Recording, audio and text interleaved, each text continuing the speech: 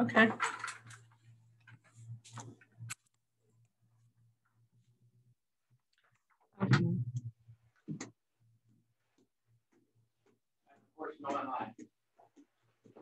You're sharing the screen?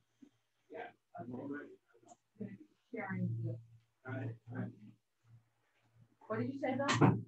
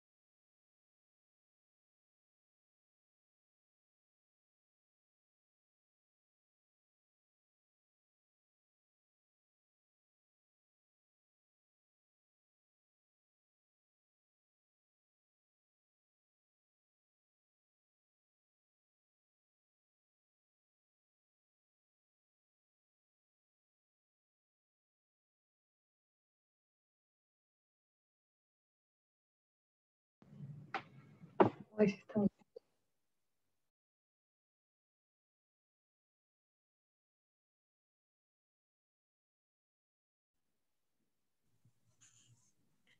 Hello, Silva. Hello, Karen. How are you? I will get you your letter today. Just interrupted my workout so I can attend your class. Oh, thank you very much. We do appreciate it. I know you always have questions, so we are welcoming everyone's question. Um, and feel free to stop us as we go. And we'll give everybody a couple of minutes to, to join us. Happy belated birthday to Bill. Thank you, Silva. Yes, You're welcome. we had a nice, um, Bill loves carrot cake, so we had a nice big carrot cake for him yesterday. Nice. and a little champagne to go with that. And next week, the whole, everybody in the office here is gonna, you know, try to get together for lunch Aquí estaremos. to celebrate. Because Bill's birthday lasts the whole month. That's right. Um, we have Ken's birthday coming up, don't we? Yes, that's true. That's tomorrow, I 15th. think. Oh, t- t- is it tomorrow? Tenth? Eleventh? 13th or 11th. I can't remember. One, either the 11th or 13th. So um, we'll have to reach out to him. Chris We will will. know. Any other Geminis on the call? When's your birthday, Silva? May 22nd. I'm the first day of Gemini. Oh, yes. ¿Cuándo? I don't know that stuff, but that's on the cusp, right? Is that what they call it? Huh? Hello, Alice. Mentira, entonces será que te tenemos. Deja de Nellie is with us. confirmar, ¿verdad? No, yo Can I sé say that again? pero no firmo con Keller Williams, yo creo. Ah. Primero Llegó como hasta antier. Me No, we lost Alice. estaba, entonces lo I'm sorry. Someone's car is beeping. It is not mine, es como los de, de la oficina. Is it but it mine? is outside my window. So I think it's out this way in the diner. No, no, it's over here. está pasado. Ahí tenía cinco tarjetas. Le veo ya hace semanas que la veo todo. Así. Ujú. Solamente el cuarto de la impresora se le están cambiados de, de organizado. Paul, it's your car that is beeping. Era un reguero. Hablo- You never quite know. Ah, there we go. Thank There you, Nancy go. Morgan. That would have gone on the entire time we were here. That's right. Entonces, de un par de yo digo, oye, ¿es qué es? Yo, Somebody's trying to steal my car? yo ni le pongo mucho borolo a esas vainas ya. We're going to give it one more minute to get everybody on and connected. Okay. Alice, how are you doing? I'm doing great. How are you? que veo soy Nelly. Good. Everything's good. Randy, I don't know if you're just listening or, but hi. Oh, she's muted. Excuse me. Uh, Yes. Okay. Hi. Yeah, everybody's muted. I'm not ignoring you. Hi. Nice. We're just saying hi like we would if you walked in the in the room. We're getting closer and closer to that. Oh, it'll be, be nice to see everybody again. Been way too long.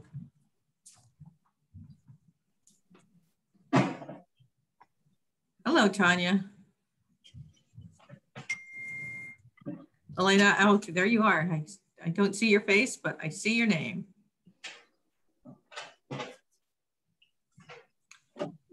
Well, you know what? We can go ahead and get started if we like.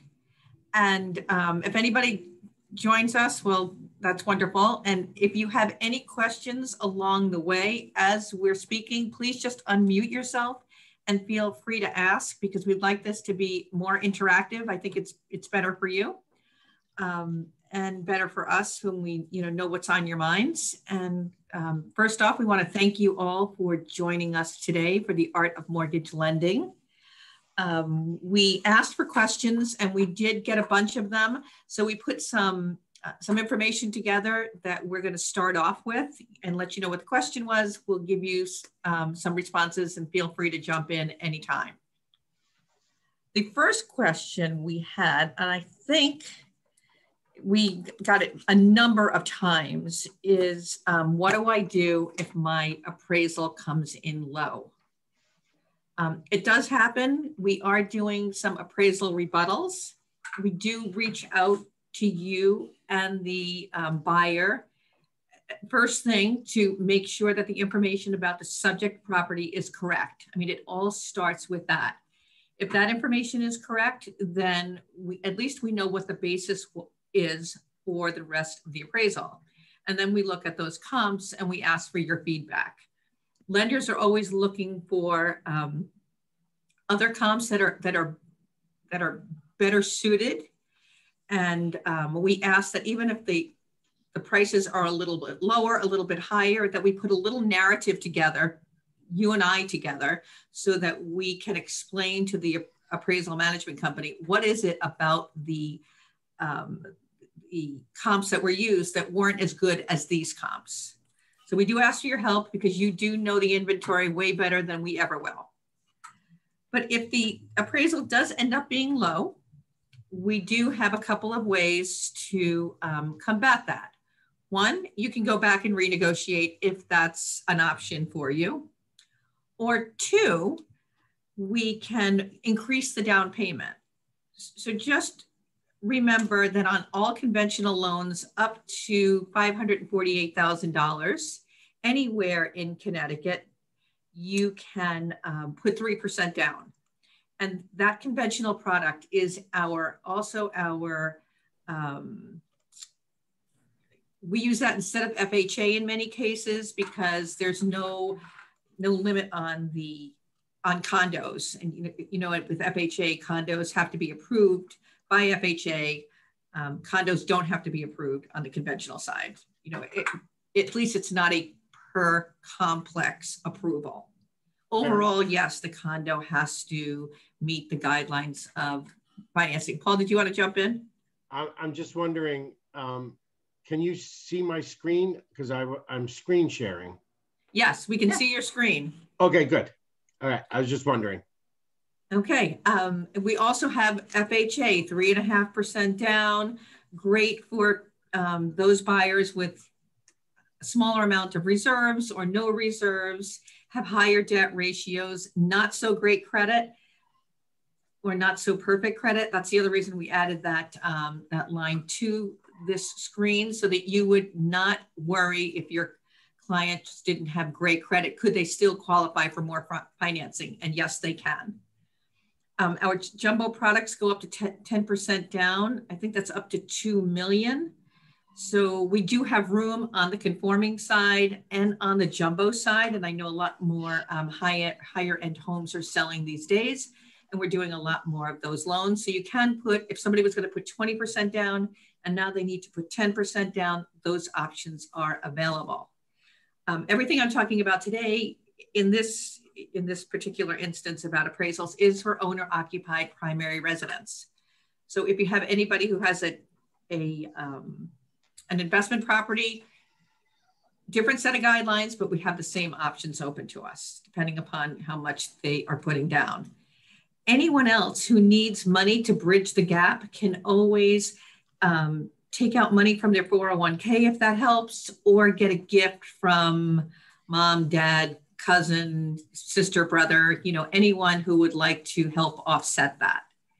We do have a nice little tool that we use to, um, to, um, to show how values will appreciate over time if you are paying a little bit more for the house than it's been listed. And we'll show you that at the end if we have time after going through your questions, or else we'll do that in a separate, separate um, class. Anybody have questions on options for lower appraisals? Okay, then I did a great I, job. I do. Oh, go ahead. Um, the, money that they're borrowing, uh, is it through a gift letter as usual? And are there any restrictions there? I mean, I know it was hard in the past to borrow money from people. Well, you're not borrowing any money from, you're, you're getting a gift.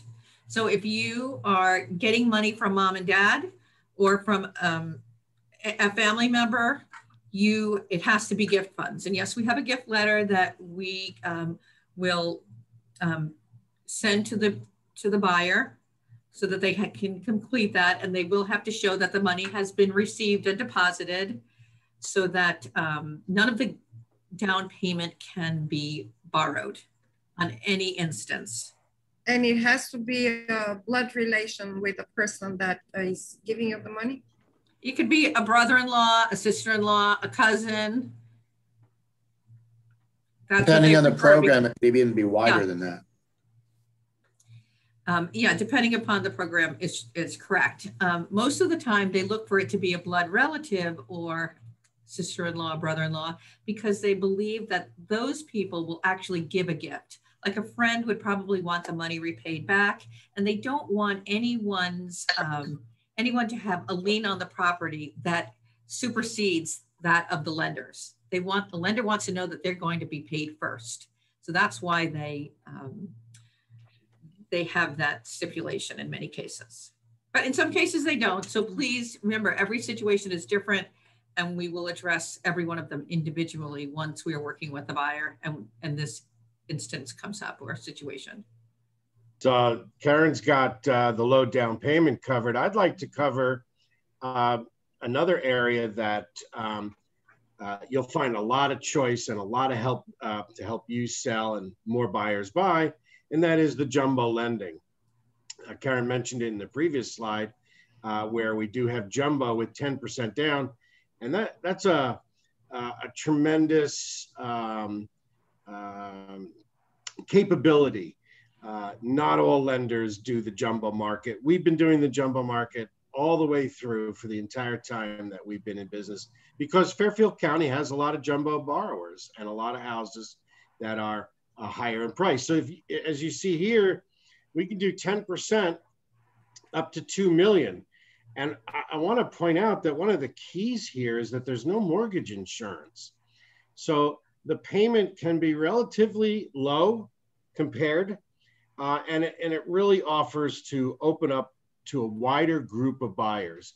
Um, obviously, getting together um, a couple hundred thousand for a 20% down payment is going to be difficult for a lot of borrowers. But when you say, well, you can do it with 10%, then uh, it definitely opens the door up to more borrowers.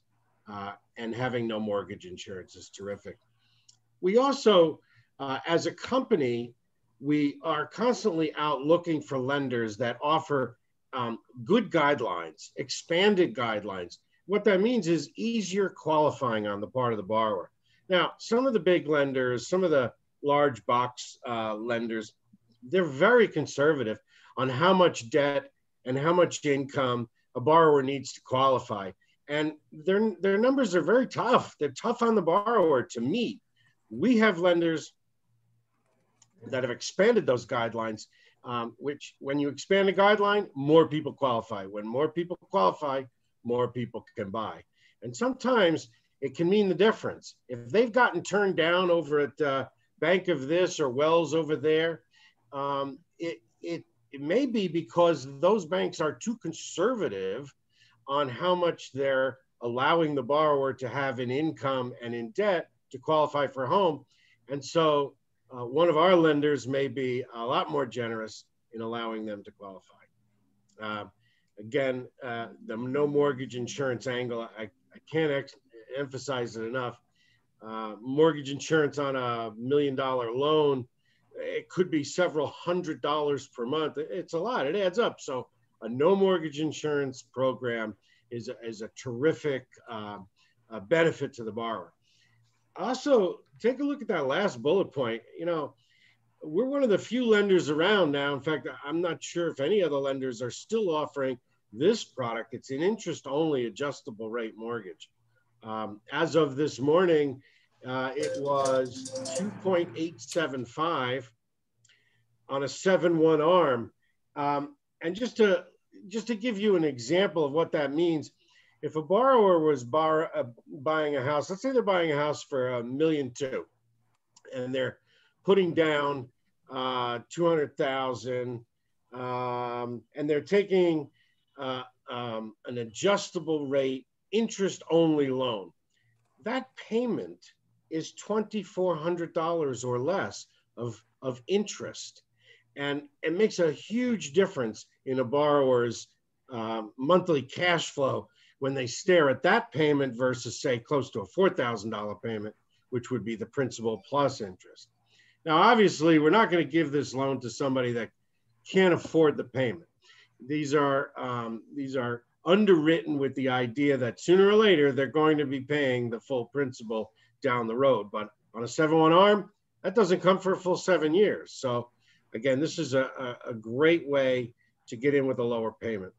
It also opens the door up to, to um, the type of borrower who, let's say, gets a large um, bonus or commission during the course of the year. Maybe they have a set salary that they would only qualify for, say, X amount of dollars if you just went off their salary, but they can pay down the mortgage at that time when the um, uh, when they're when they get their bonus, etc. So, from a cash flow perspective, this is a really terrific program for a lot of buyers. Uh, expand the number of buyers that you can uh, uh help um, sell, help put into houses. Can we just take one moment? Um, Alice, you had a question. Is there a minimum mortgage amount for this? Tell me what this is. Just so that I make sure that we address the question correctly. Well, I have clients who are working with another bank and they have, Oh my goodness. I know. They came to me with this with this other bank in tow and they're putting like 13% down on a purchase of up to 650 and they have to pay pmi so that's why i'm asking would they be able to get this type of a loan without having to put uh, pay pmi and put 10% down they could if they qualify for that yes they could sometimes you know we look at it both ways in this in this case here for the jumbo lending they um, the some of the loans are particularly good if you don't pay the monthly mortgage insurance. There are other times when sometimes when paying the monthly mortgage insurance um, is a benefit. It depends on how much you're putting down and how quickly you're going to get down to that 80% loan to value. So if you're going to get there relatively quick, quickly, then maybe you want the lower rate and you pay the mortgage insurance monthly because that might work out better for you. So it, it might be a credit score issue. I don't know in your buyer's case, but we could look at it if, if they wanted to, you know, call us with a question. I'm happy to do that. Okay, thank you. Okay. Sorry, Paul. I just saw Alice with a question. I want to make sure that everybody heard it. All right, good. All right, you got that question. That's great. All right, so our next category is um, this, uh, we're going to bring Nancy in on this because this is one that we get this question all the time. And that is, how do we compete with that cash buyer? Now, you know, obviously cash is king and we all know that, but there are things that we can do to help make your buyer um, be as competitive as a cash buyer. And so, Nancy, if you want to go through our lender certified, fully approved um, program. Thanks, Paul. Hi, everybody. Uh, it's me, Nancy Morgan. How are you today? Um, so this is very helpful because I know talking with um, realtors about, you know, how do I compete? How do we compete? How do we get this deal over a cash buyer? My buyer doesn't have cash. So we do have several lenders who will do a full credit underwrite of a borrower with a TBD, which is to be decided property address. So, um, and this is great because you have someone who's looking lost out. I have a few that I'm going to be sending as um, now because it's great. It's good for um, conventional jumbo government loans. So, for instance, I have a VA, which people are afraid to take a VA approval. So if I have the borrower credit approved, and I'll explain that, um, really what we need to do is have an accepted offer and get the um, appraisal done. So here's the caveat. So when you guys, um, when a, someone buys a house and they get a mortgage, two things have to be approved. The borrower with their credit package, which includes income, assets, credit, and debt, that the underwriter has to approve. They have to see all of their assets. And then the other piece that they get approved by is the property, and that is the appraisal. And so, um, and if it's a condo with the condo questionnaire to make sure it's Fannie Mae warrantable. So this does not include the property, which as we know, sometimes has been a little bit of an issue, but this is great because if you can provide to, um, with your offer, you can provide the pre-approval letter from the lender itself, not just us, the mortgage broker. So I think that that has been very helpful. And I said earlier, we have more than one lender that does it. So I think that's another benefit. We have several lenders that will do it because we don't know where the rate's going to be. You know, we don't know when they're going to find a property. So um, hopefully that is something that you can put in your arsenal or back pocket or yeah no that's great put Nancy. it in your coffee. That um, that's great. The, the important part about this as nancy was mentioning was you know when you're when you're in a competitive situation sometimes the terms that you're writing up of how soon you're willing to close can also be a determinant. So for instance if uh, you have a buyer who's ready to go and they can close in say 30 days. They're not trying to sell their home or they're you know they're reload they're all moved. They're all ready to move. Having this fully underwritten pre-approval that nancy was just talking about it also means that the lender is ready to pull the trigger.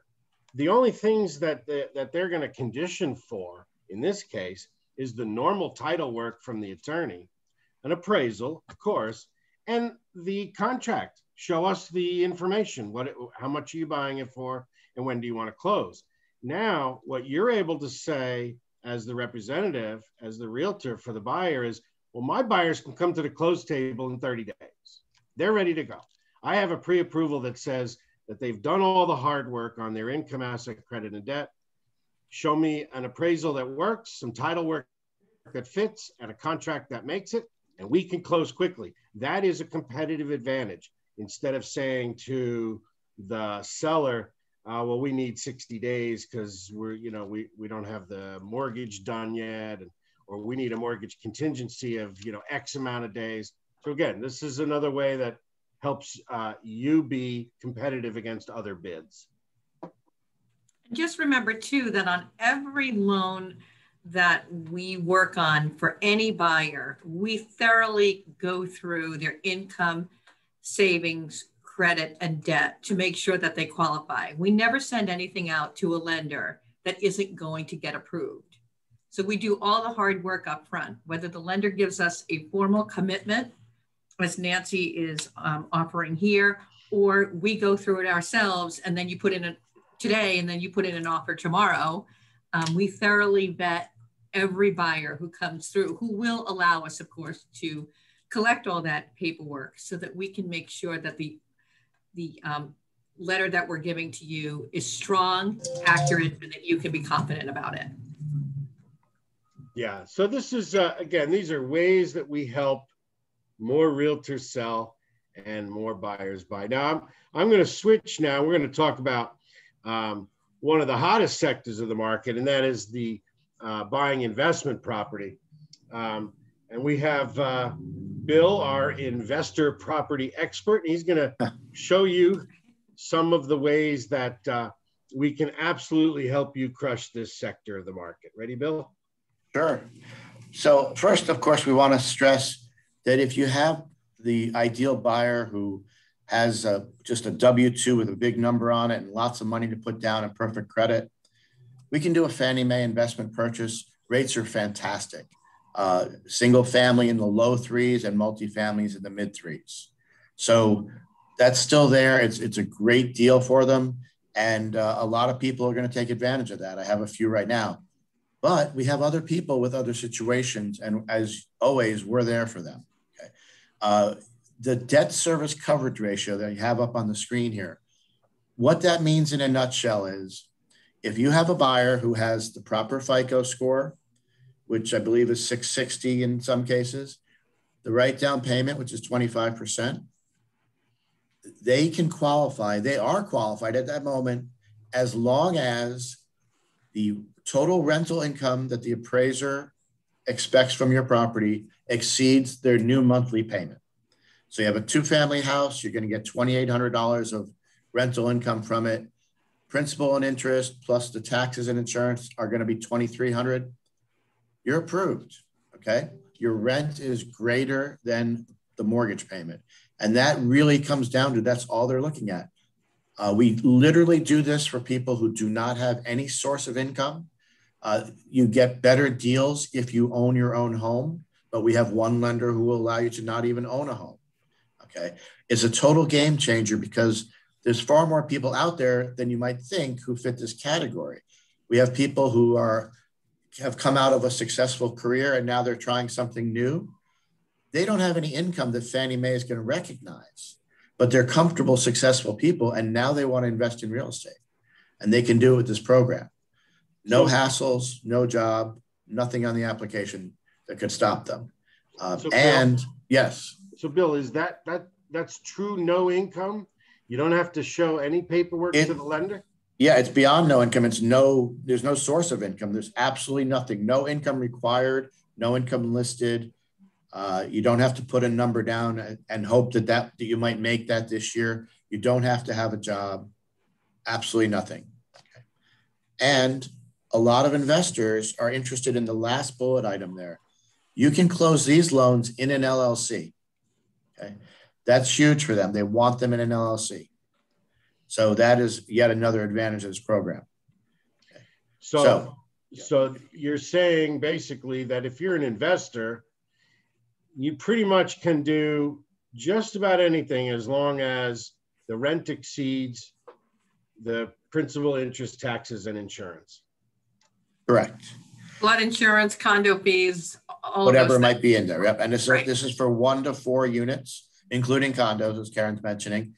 Uh, works on one unit, works on four units, works on anything in between.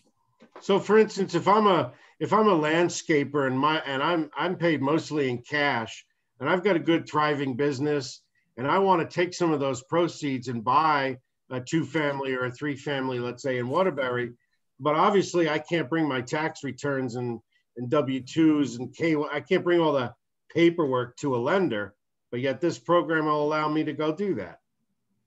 Not only that, but they're not even going to force you to put uh, what you let's say in that case, on some programs, it, they would require you to put what you actually receive in cash on the application, which nobody's comfortable doing. They're not even going to ask you to put your source of income. So yes, that will absolutely work. And that's 25% down? Correct. Ah, that's terrific. Okay. So obviously this definitely will help more buyers buy. And uh, as realtors, you can definitely see, you can uh, help more uh, people buy more properties. So, one, um, one more quick comment, Paul. Sure. That 25% down, if you're buying a two to four family with Fannie Mae, you still need 25% down, even if you have everything else to show them and it's perfect. So it's not even a higher down payment. So this program doesn't require any more down payment than the usual and customary investor programs, and yet it allows you a lot less paperwork. Correct. That's fabulous. Uh, are the rates, uh, you know, through the roof, or are they similar? Their um, investor property rates are always higher. Um, I've sure. seen some quotes in the upper fours, which is pretty reasonable, I think. Yeah, that's great. All right, super. To be able to get in with no paperwork, I'd say that's pretty good. Um, so that's for investor, the no income. What if you're an owner occupied and you want to do that? we have programs there? We have lots of programs for owner occupied, no income, light doc, no ratio. That's all the mortgage ease uh, terminology. But just so that you know that um, the no income verifications or the light doc, you have to um, verify your assets. So you want to verify your savings for the down payment, but you're not providing um, income information on the light doc except for a self-prepared profit and loss. They want to know that the bottom line of your profit and loss statement, when you divide by 12, supports the debt that you currently have and will support the debt that you're taking on with the new purchase, but it is self-prepared. So um, we can, you can um, qualify using the light doc. The no ratio allows you not to put anything on the application. No income whatsoever. You don't need a, an accountant's um, letter or a P&L, nothing at all. Are the rates on these programs a little bit higher? Yes, they are. It's always a little bit riskier for lenders when you're not verifying anything. So when they take on more risk, you pay a little bit more, but it's a great way to get into a home if this is what you need to do because maybe you are self-employed and your last two years of tax returns really don't reflect on paper what you are earning. You don't have to keep these products forever. So if you're paying a little bit higher rate for a year or two until you can show on your tax returns that your income is sufficient to cover it, that's a great way to be able to take advantage of still low rates today and still have the opportunity to buy that home that you've fallen in love with. So just because you cannot document income doesn't mean that you are not able to buy a home.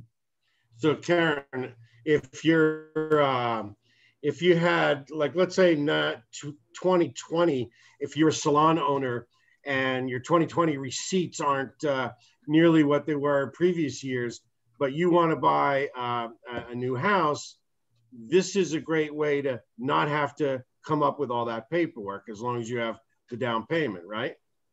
It is. And it also allows you to buy when you wouldn't be able to buy through a conventional loan because you would not be showing that income. But now that you use the case of a salon owner, you know, the salon owners are all open now. Everyone's going back and you know you are going to earn um, the money that is needed to make those payments. This is certainly not um, us promoting anyone to buy a, a, home that they cannot afford. It's right, still responsible lending. You still have to put your 25% down um, or 20% down. I think in case of the bank statement program, where they're only using deposits on bank statements to qualify um, the um, income. So they will look at the, the deposits on 12 to 24 months of bank statements, depending upon whether you own the company on your own or if you own it with a partner. They will either take 100% of the deposits, or if you own it with a partner, 50% of the deposits. They have an expense ratio that they apply, and then they um, use that um, number to qualify your um, payment or your mortgage. So that's, your qualif- you know, your ability to qualify for that mortgage for that loan so amount. that's uh, obviously that expands it to uh, to more borrowers. Bill, you you had somebody, didn't you? Somebody was uh, long term in in an industry and went out on their own. What was that story? Yeah, he's actually closing tomorrow. Uh, he he was an employee. He was an insurance life insurance agent uh, for a company, a major company, and he decided to go out on his own. He did that in December, but then he decided to buy a home. Now, why So- is that? Why is that hard? because he's self-employed now, and uh, even the uh, light doc that Karen mentioned requires one year of self-employment. The no ratio doesn't require any. Again, no, you don't even list your source of income, and you don't have to verify anything. And so he had to choose that rate. It was a little higher than the light doc, but he's thrilled. As I said, he's closing tomorrow. Uh, they're in the they're buying a condo that they love in a, in a market where it's difficult to uh, you know to win a bid. They got it. They're thrilled, and I would say that in about 18 months, I'll be giving him a phone call and saying, "Hey, let's refinance uh, into a, a new you know conventional fix because you've had your business two years now, and there's no prepayment penalty on any of these for owner occupied properties." That's a, I mean, a great. it's a great way, really, to open up to the wonderful world of self-employed um, buyers in Fairfield County, in particular. It's really difficult when they don't want to show a lot of income because they don't want to pay a lot of taxes, but you know that they earn the income to qualify for a mortgage. So it, it really opens up a whole group of buyers that, you know, for a while there couldn't couldn't buy after the you know, mortgage meltdown, but but now are able to do so. It's a it's a portion of the population that was underserved for a long time. So now Bill, we're able to help. so Bill's example is definitely helping more buyers buy. That's a that's a classic uh, uh, way of showing that. Um, you know, th- we also have a group, and you know, th- they they need to buy also, and this is a group of people who are re- returning to the purchase market. Um, who wants to tackle this one? Well, I, I had this recently, Paul, so I can handle it. Um, so we have we have some very solid, qualified people who have had any of those three things: a bankruptcy, or foreclosure, or short sale, uh, in the last few years, and and many times beyond their control. Uh, a lot of times they've rebuilt their credit, but Fannie Mae and even FHA have hard stops on waiting periods. So, for instance, a bankruptcy uh, FHA is two years, Fannie Mae is three. A short sale for Fannie Mae is four years. If you have, I think it's if you have 20% down, you have to put, if only 10% down, it's seven years. These are all very harsh periods for people who really didn't do anything wrong. So we have a lender who's taking a very different approach. And uh, I have somebody that I'm talking about specifically. They had a short sale just over two years ago. Okay. Um, FHA wants three years. Fannie Mae wants longer. Um, this lender, with two years, not only will they do it, but they'll also combine it with their bank statement program. So I'm actually going to do basically a no doc, no income documentation documentation, excuse me, loan for these people. Um, it's not just that they can get back into the market, but over two years, they can still take advantage of these other programs we've been speaking about. Now, going to a different angle here, if they had had their short sale just over a year ago, they can still lend with this lend with this lender, but they do have to go full documentation. That's true of a bankruptcy as well and a foreclosure. So if you've had one year out of all three of those, you do have to do a full documentation, but they will still help you get back into the market.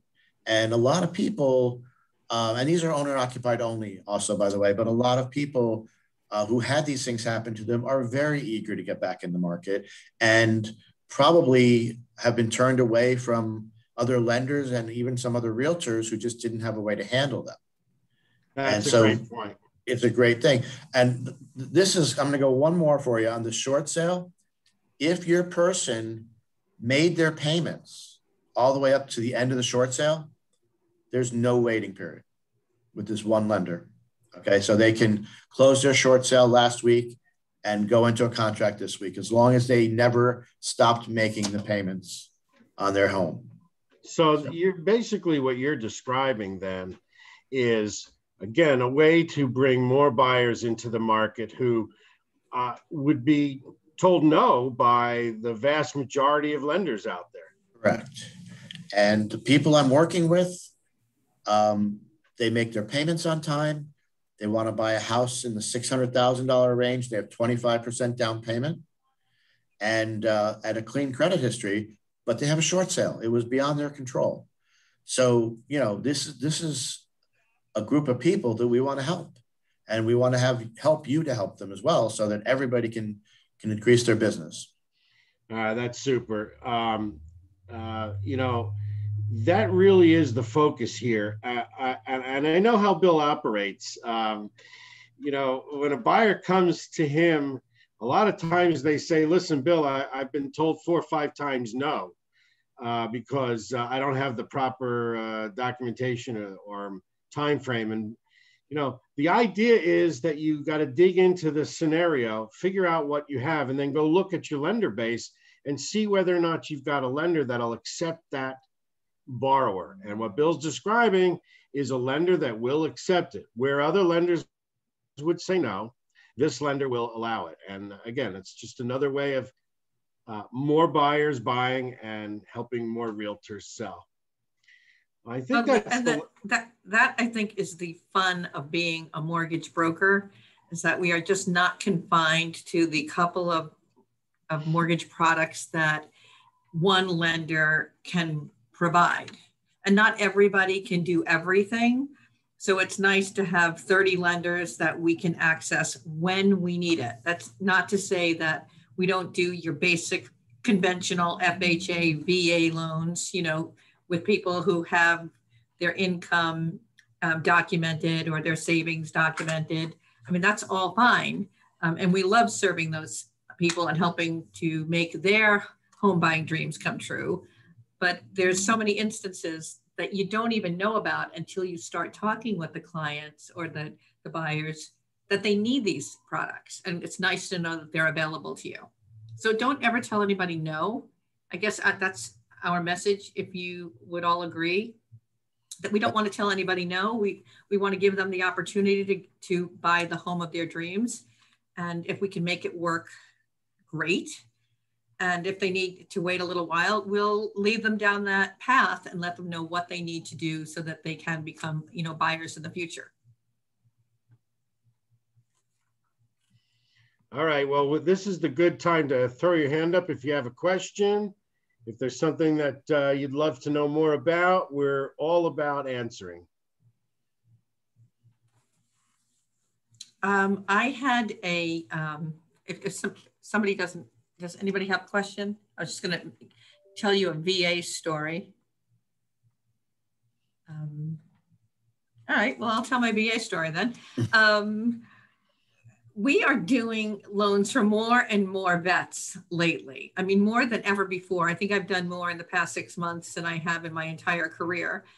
Um, but I did have a realtor who kept saying, you know, Karen, we're having a really hard time with VA. The perception is that VA is harder, VA is going to take longer.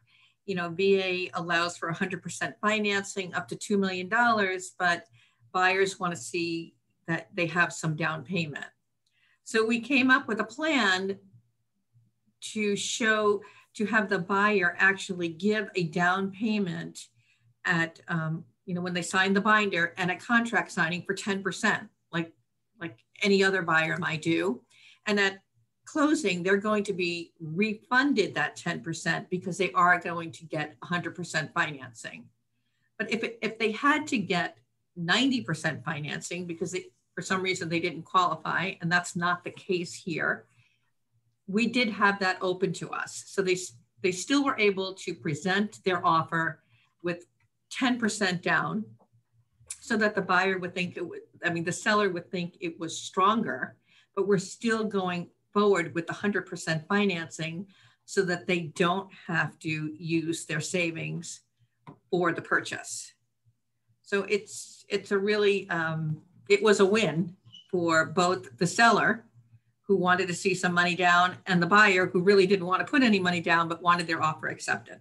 So Karen, they get uh, they get that ten percent back at close. Their attorney had it in escrow. Yes, and they're going to get it back at closing because they're going to come to the closing with you know the full purchase price amount, which is you know all that the seller is concerned with. And what was the uh, interest? what was the interest rate on that loan? The interest rate on that loan was two point three seven five. Because it's lower for vets it is lower for vets. Right. I mean, there's there's no mortgage insurance for vets.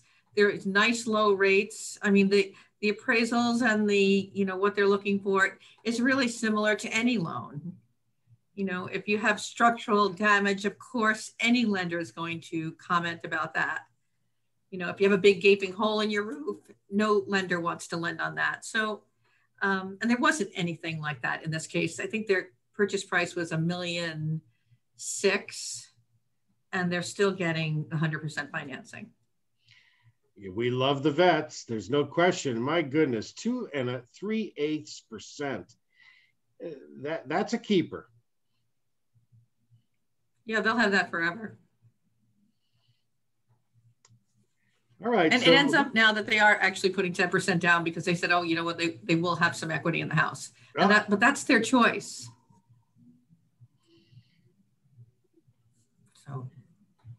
Can I can I ask a question, please? Sure. I actually have two.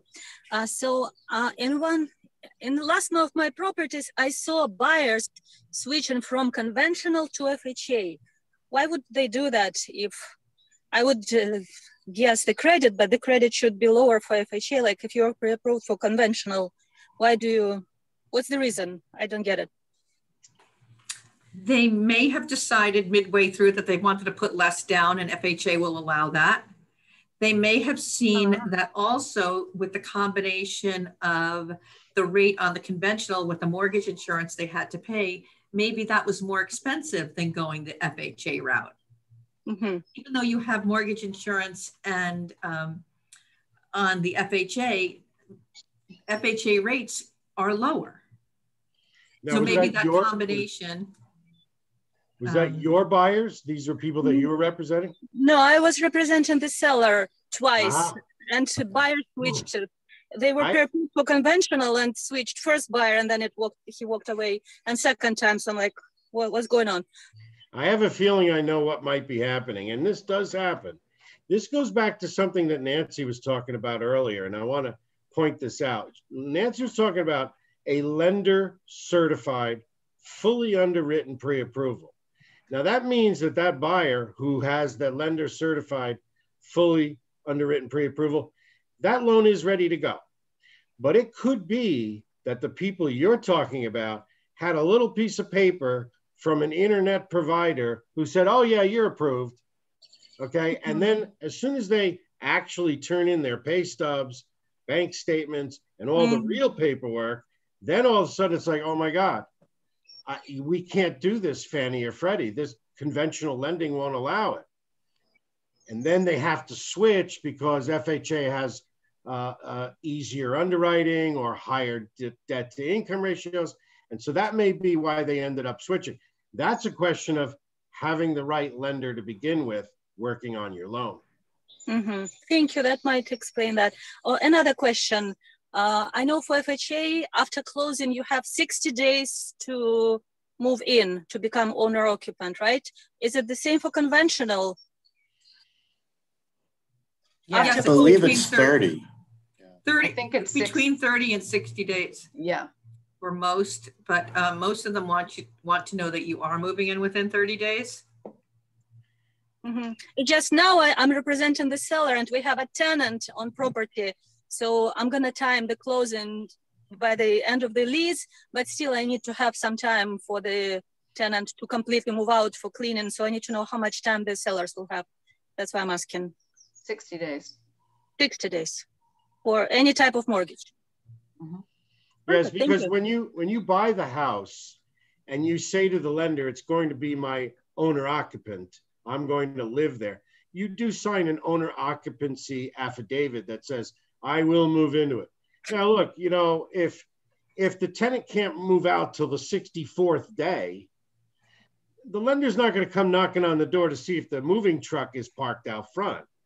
They just want to know that you're that you're not actually really an investor who's buying mm-hmm. it. So that's mm-hmm. really why that rule is there. You sign an affidavit saying, "Yes, I promise I will be living there." They do check though. I have had I got a call uh, this couple, uh, they bought a condo, FHA. They were definitely moving into it, but they were getting married, going on their honeymoon, and they had investigators looking to see. And I got a call saying that they can't get in touch with them. They're trying to, and they wanted to know if it was an investment property. And as it turns out, they were in there, but they just, you know, because of their wedding and they're going away, they hadn't changed uh, certain, um, they hadn't changed like their utilities and stuff really. So um, it does happen. They do have some mortgage police out there, not many. Get get those pictures up on the mantle as soon as you move in. And pay your mortgage on time. And pay your mortgage on time. Any other good questions? Thank you, Elena. I have one. Suppose a, a buyer wants to waive the inspections if they're getting like an FHA mortgage or Fannie or one of these other low low down payment mortgages, can they rightfully waive the inspections? Doesn't um, when the appraiser come out, isn't he like an uh, an inspector also? Well, that's a very good question. You know, uh, we get asked that all the time, but the real answer is that the inspection is for you, your buyer. It's to know whether or not the dishwasher works, whether or not there's a hole in the roof, whether or not the heat and the lights are working. The appraisal is completely different. That's does does the house match up against other homes in the neighborhood? So the lender really is they're not asking you for the inspection. They are not uh, they're not looking at it. It's not part of the mortgage process. So if you want to waive the inspection, let's say you're you know you're a contractor and you can tell whether or not it's uh, a good home. That's absolutely up to waiving the appraisal, well, that's a whole nother kettle of fish, as we say. I think, Paul, what Alice is saying is that the appraiser is doing a de facto inspection. So, so to say you're waiving inspections wouldn't be accurate. But he hit on the right thing, Alice, which is that the appraisal is for the lender. So it goes towards the mortgage contingency, not the sales price or any negotiations. And at the end of the day, when the appraiser says that the front railing has to be reattached or you cannot have this loan, that has nothing to do with inspections or negotiations. It's a, it's a hard stop. Somebody's going to fix the rail or the deal's not going to go through, but it's not the buyers trying to game the system. So it's a different, entirely different thing. Um, and I'll add that when you're doing a VA loan, you do need a termite inspection. It is required from all the lenders and or, or by the VA and the buyer cannot pay for that. So it has to be paid for by someone else um, but, and not by their relatives or anything like that. It would have to be paid for by the realtor or the seller. And then, you know, later um, you can do as you wish, but um, the, the buyer cannot pay or the bet cannot pay for the termite inspection. So one thing I will tell if you. This, if this is the part of the general inspection, how, yes. how to operate them? It, yep. It has to have a separate invoice. Yeah, or you can say no charge. The the inspector can say termite inspection, no charge. Okay, so that's okay. It's just for VA, right? I have never heard about yes, it. Just for VA. Thank you for that new information. And will you be able to share the slides? with every Absolutely. perfect thank you any other questions um, right. bill nancy um, what is the water um, is there a potability on fha or there's a there's a flow test and potability okay usually so um, your well if you have a well on a government loan you need to have it tested that it, there's sufficient flow and that the water is potable. So, and, uh, and Bill, can uh, do most inspectors uh, have the ability to write that up, or is that a specialized test?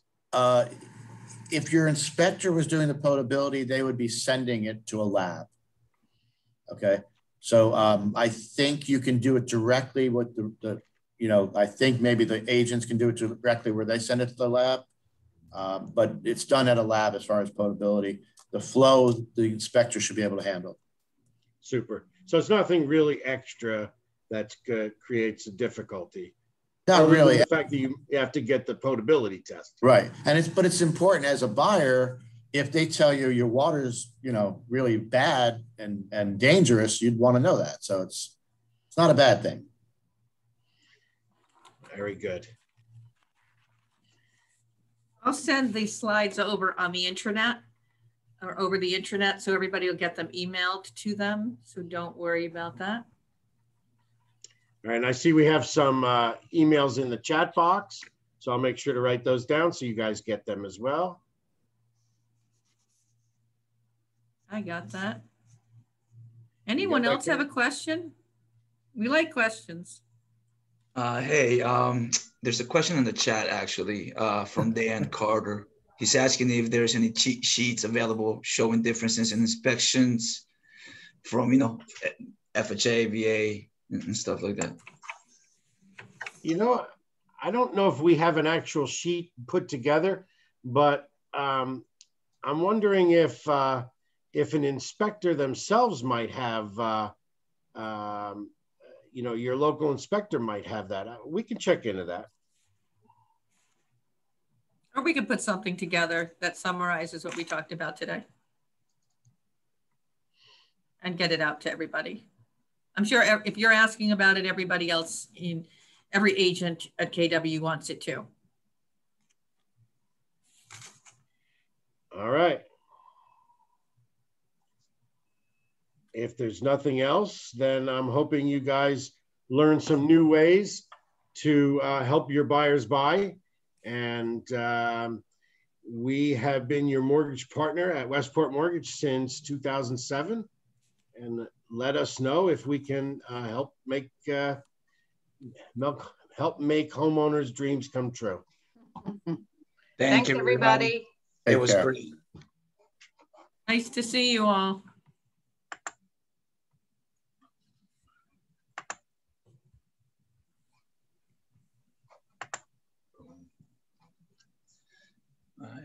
Thank you again. I gotta leave. Bye, everybody.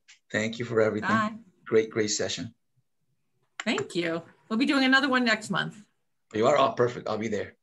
And Okay. hopefully I'll be calling you guys for some business soon. That would be wonderful. Fingers crossed. All right. Thank you. Bye bye bye.